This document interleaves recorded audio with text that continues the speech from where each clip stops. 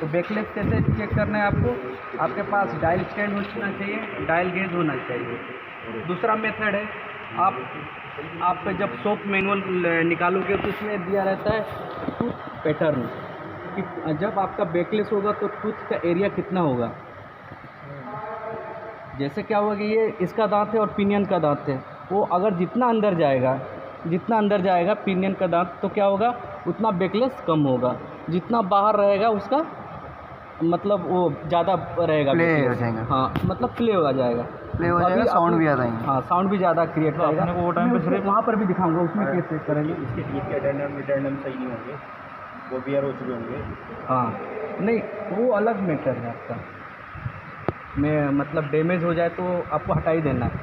अगर आपका ये जो ओपिनियन है और ये है थोड़ा बहुत घिस जाते हैं तो थोड़ा सा वेयर आ जाता है। तो थोड़ा सा उसको अपने को बेरिंग ये साइड बेरिंग हाँ तो क्या करना है? पिनियन एक जगह स्थिर रहता है।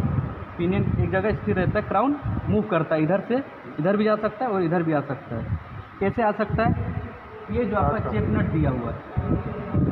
इन दोनों पे चेक नट में इतना एरिया है कि वो क्या इसको थोड़ा इधर भी घसका सकते हैं थोड़ा उधर भी घसका सकते हैं। बैकलेस ये जो पिनियन है आपका जितना पिनियन के पास क्राउन जाएगा आपका बैकलेस कम होगा।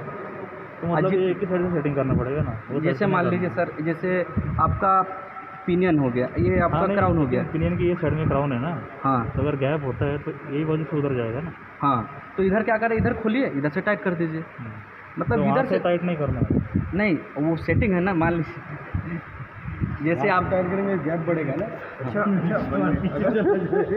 अगर नहीं इधर तो, तो शिम्स वगैरह डालना पड़ेंगे ना? सिम नहीं डालना पड़ता नहीं डालना। इसमें नहीं डालते अगर मेरा नहीं इसमें नहीं अगर नीचे उस चढ़ने की कोशिश अगर मेरा इधर डायल गेज से चेक करना। हाँ।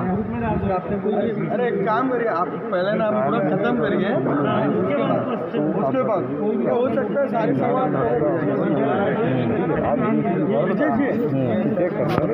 बता रहा हूँ देसी जुगाड़ी बता रहे थे। दीजिए